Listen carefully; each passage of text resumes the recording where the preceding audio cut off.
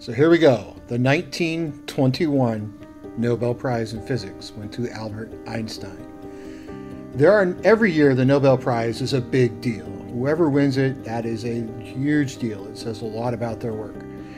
Then there are prizes that are set apart from the rest that I think in time no one will forget.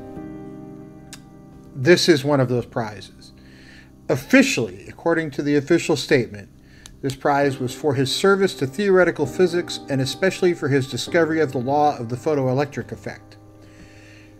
That paper was published in 1905, which many people call his career year. It was the landmark year for Einstein. He published four papers in that year that any one of them were, were Nobel laureate level prize-worthy papers. But he did four in the same year. And this is a man that wrote more than 300 peer-reviewed papers. So what sets these four apart and what were they? Well, one was the photoelectric effect, another was on Brownian motion, one was on the equivalence of matter and energy, E equals mc squared, and the other was on the special theory of relativity. There's two papers on relativity. One is the special theory of relativity, it was written in 1905, and the other is the general theory of relativity, which he published later in 1915.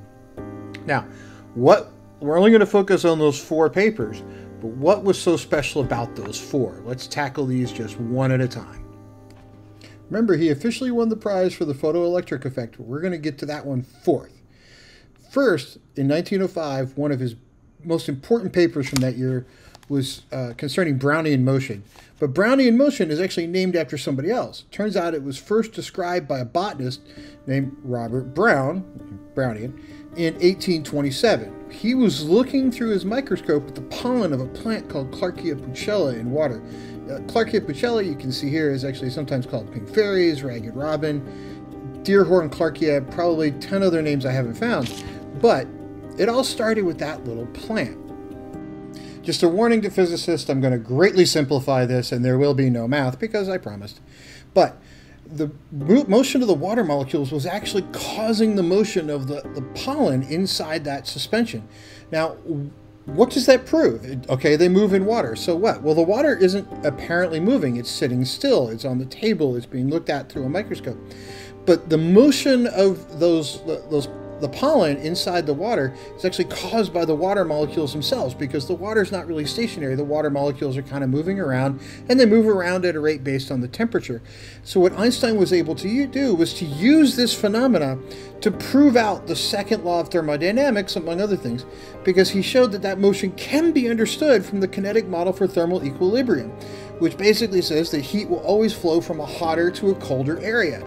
And using that simple phenomena of pollen in water, he was able to solidify something that wasn't necessarily completely solidified at that particular point in time, but becomes very important for some of his other work. Now, the second and third papers out of that just sort of career year that Einstein had were about the special theory of relativity, and we're going to talk about those at once, all in one clump.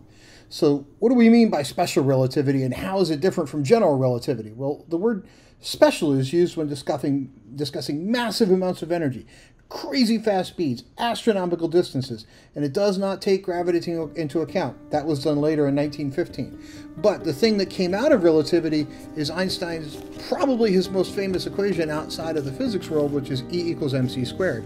Now, this letter was actually written by Einstein, so I'm glad to see his handwriting is a little bit worse than mine, so I feel better.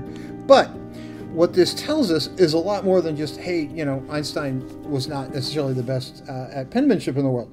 What it tells us is many things, including you can get a massive amount of energy by destroying a little bit of matter, and that's all off in the nuclear world.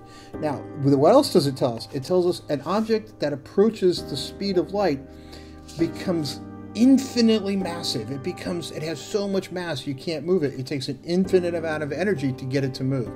So you, you have this problem. You can't get to the speed of light. So how are we going to do interstellar travel? Well, we can't because of relativity. A lot of other reasons we can't do it too, but that's just one of them. So this were the first, second, and third paper in his career year. Now let's get to the one he won the prize for. Finally, his Nobel Prize winning feat was the photoelectric effect. Now, that effect is the emission of electrons from a material that's actually caused by bombardment of electromagnetic radiation, such as ultraviolet light, sunlight, in some cases even IR.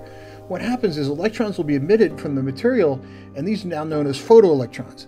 Now, the, the thing about that was, it, it, it's to this day, it's still studied in things like condensed matter physics, solid state, quantum chemistry, and it helps us understand our prop- the properties of atoms and molecules and solids. But the experimental result itself disagreed with classical electromagnetism, which predicted that the continuous light wave transfer of energy to electrons, which would then be emitted when they accumulated enough energy. Well, that's not really the way it works.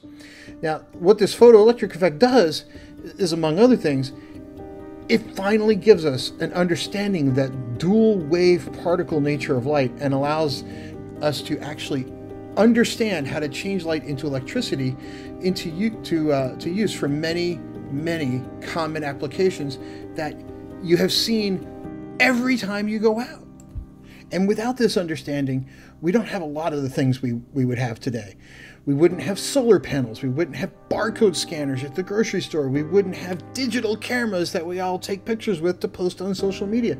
None of that stuff would exist if we didn't fully understand the photoelectric effect. Now, I know everybody thought he won the prize for E equals mc squared in relativity, but it's not the case. The photoelectric effect is what he won it for. And in my opinion, that's the one that really does affect everybody's life on a daily basis much more than anything else he worked on. And I think that's why the Nobel Committee may have chosen to, to to award that one. I think they looked at which one's going to have the most application, and I think they saw this one and went, "That's the one. We're going to give him the prize for that." Now, I hope everybody has enjoyed this video. I hope you're enjoying the series. I do have a playlist on YouTube uh, with all of them attached to it, so I will continue to do these until we run out of Nobel prizes.